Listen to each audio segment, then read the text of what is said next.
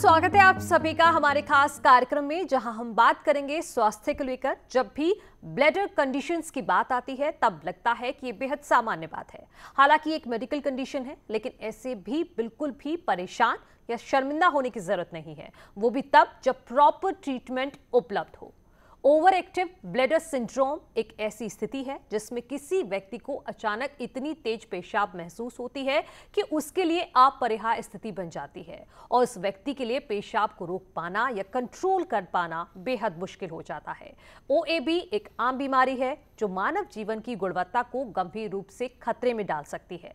इसके विपरीत अगर बात करें तो बहुत से लोग सोचते हैं कि ओवर एक्टिव ब्लेडर वृद्ध होने के साथ ही ये जीवन का एक सामान्य हिस्सा नहीं है और ऐसा कुछ नहीं है जिसके बारे में आपको सोचना चाहिए। ये सिर्फ़ एक मेडिकल कंडीशन है जिसका इलाज संभव है।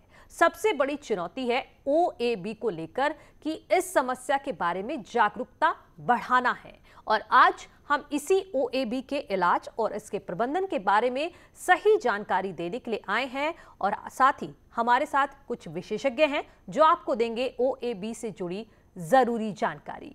इस विषय पर हमारे साथ चर्चा करने के लिए मौजूद हैं एक्सपर्ट्स डॉक्टर तो आइए आपसे उनका परिचय कराते हैं।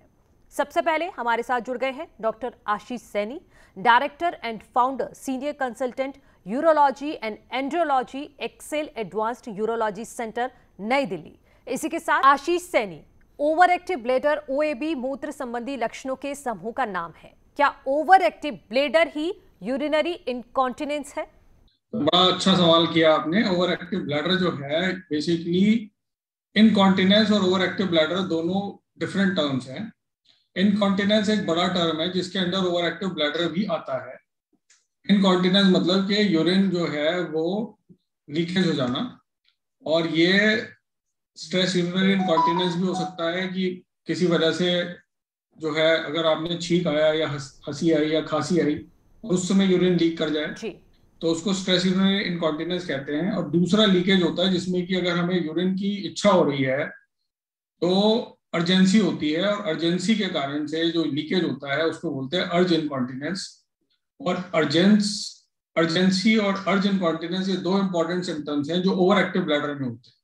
तो अगर आपको ओवर एक्टिव ब्लैडर है तो ये सिम्टम इसमें आता है अर्जेंसी इनकॉन्टिनेंस और अगर स्ट्रेस यूरिन इनकॉन्टिनेंस है तो वो ओवर एक्टिव ब्लैडर नहीं है। तीसरा एक इनकॉन्टिनेंस होता है, जिसको बोलते हैं पैराडॉक्सिकल इनकॉन्टिनेंस पैराडॉक्सिकल मतलब कि पेशेंट इसमें यूरिन रिटेंशन में होता है लेकिन उसका यूरिन जो है वो छलकता है ऐसे एक तरह से घड़ा जो है भर जाता है उसमें से यूरिन छलकने लगता है।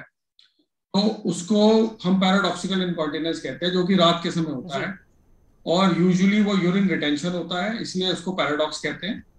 लेकिन यूरिन रिटेंशन होता है लेकिन प्रेजेंट करता है इनकॉन्टिनेंस की तो इनकॉन्टिनेंस डिफरेंट तरीके के हैं जो हमने भी बताए और उसमें से एक जो अर्जेंसी इनकॉन्टिनेंस है वो ओवर एक्टिव ब्लैडर का प्रमुख कारण है।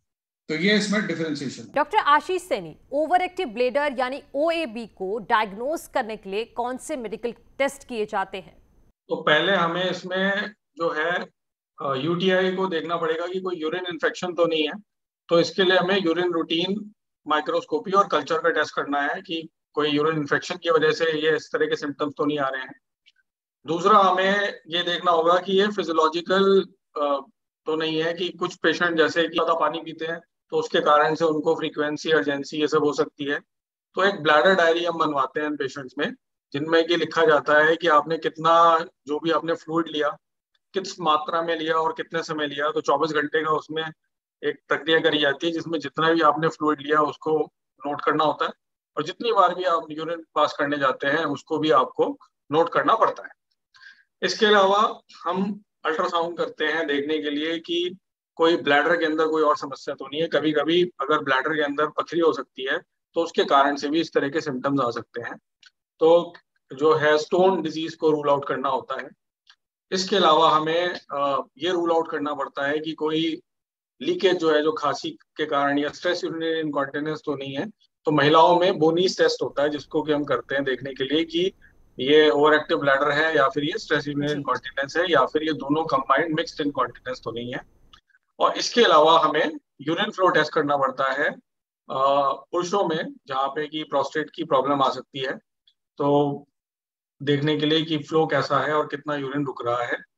तो ये टेस्ट रहते हैं जो कि हम करते हैं पेशेंट्स में जिनमें प्रोस्टेट बड़ा होता है उसमें हम पीएसए का टेस्ट भी करते हैं 50 इयर्स के बाद अगर ये सिम्टम्स आ रहे हैं तो। ओएबी के विकास के लिए बढ़ा हुआ वज़न या अनहेल्दी फ़ूड जिम्मेदार हो सकता है? इस समस्या से बचने के लिए क्या कदम उठाने चाहिए? हाँ तो देखिए ओवर एक्टिव ब्लैडर के अंदर जो सबसे पहले हमें है कि लाइफस्टाइल मॉडिफिकेशन बहुत ज़रूरी है। लाइफस्टाइल मॉडिफिकेशन में बहुत सारी चीज़ें आती हैं जिसमें सबसे पहले है कि आपको एक्सेसिव पानी जो है नहीं पीना क्योंकि ज़्यादा पानी पीने से भी वाटर इंटॉक्सिकेशन हो सकता है। और आठ से दस ग्लासेस से ज़्यादा आपको ज़रूरत नहीं होती पीने की। अगर आप बहुत ज़्यादा एक्सरसाइज कर रहे हैं तो उसमें आपको एक लीटर के करीब उसमें और बढ़ा सकते हैं। कुछ लोग पानी बहुत ज़्यादा पीते हैं, एक साथ पीते हैं तो इसके कारण से भी ओवर एक्टिव ब्लैडर की प्रॉब्लम बढ़ जाती है। दूसरा है कि जिन, जो पेशेंट बहुत ज़्यादा जिनमें वज़न होता है, उनमें मेटाबॉलिक सिंड्रोम हो सकता है। और इसके कारण से ओवर एक्टिव ब्लैडर की समस्या इनमें ज़्यादा रहती है। तीसरा कि अगर आप स्मोकिंग करते हैं तो स्मोकिंग जो है एक बहुत बड़ा ब्लैडर इरिटेंट है और इसके कारण से भी ओवर एक्टिव ब्लैडर के सिम्टम बढ़ते चौथा है कि अगर आप अल्कोहल का सेवन करते हैं बियर पीते हैं तो ये सबके सब डायूरेटिक होते हैं ब्लैडर इरिटेंट होते हैं और ये ओवर एक्टिव ब्लैडर को बढ़ाते हैं। इसके अलावा अगर आप बहुत ज़्यादा कैफीन रिलेटेड प्रोडक्ट्स लेते हैं जैसे कुछ लोग तो आजकल प्रोटीन एनर्जी ड्रिंक्स के अंदर कैफीन बहुत होता है, चाय में कैफीन होता है ग्रीन टी में भी हो सकता है। और कॉफ़ी में होता है तो ये कैफिनेटेड प्रोडक्ट्स को भी हमें अवॉइड करना होता है और इसको करने से हमारे जो सिम्टम्स होते हैं वो थोड़े कम हो जाते हैं। और जो रोग है उसके निदान में इसमें मदद पर ढेरों जानकारियाँ देने के लिए बहुत धन्यवाद। अब मुझे दीजिए इजाज़त। नमस्कार।